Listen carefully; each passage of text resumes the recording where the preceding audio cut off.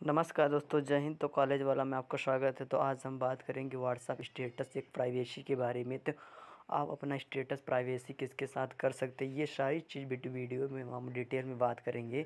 तो अगर हमारे चैनल पर पहली बार आए तो चैनल को ज़रूर से ज़रूर सब्सक्राइब कर लीजिए। साथ ही बेल आइकन को भी प्रेस कर लीजिए।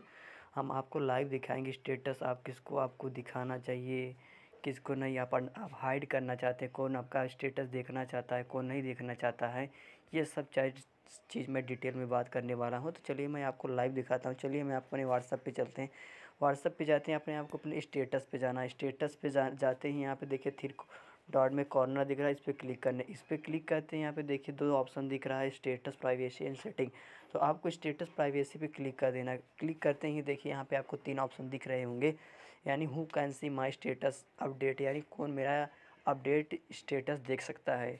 यहाँ पे तीन option my contact my contact except यानी मेरे कंटेक्ट अलावा वनली शेयर विद यानी जो जिसे मैं शेयर करूँगा, उसको मैं मेरा स्टेटस देख सकता है। तो यहाँ पे आपको कौन ऑप्शन देखना है? तो मैं चलिए यहाँ पे आप देख सकते हैं।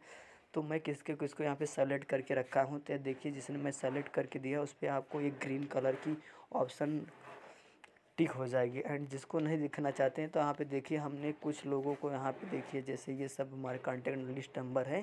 यहाँ पे मैंने इनको अनसेलेक्ट रखा है, जो कि मेरा स्टेटस ये सब नहीं दे सकते हैं। एंड जो सेकेंड ऑप्शन है सेकेंड ऑप्शन जो मतलब हाइड स्टेटस यानी जिसको मैं नहीं दिखाना चाहता हूँ, ये स्टेटस है उन उन लोगों को मैं सेलेक्ट कर सकता मैंने यहाँ पे किसी को हाइड नहीं किया है कि मेरा स्टेटस ना देखें। एंड जो फ़र्स्ट ऑप्शन है माई कंटेक्ट यानी जो हमारे कंटेक्ट लिस्ट में आपको सेम में मोबाइल में जब फ़ोन आप सेव करते हैं तो वहाँ पे ये सब देता है। तो आपको किसको, किसके साथ शेयर करना है, ये तो तीनों ऑप्शन सेलेक्ट कर सकते हैं। तो अगर हमारी वीडियो आपको अच्छी लगी तो शेयर सब्सक्राइब ज़रूर करिए इस चैनल को। जय हिंद, जय भारत।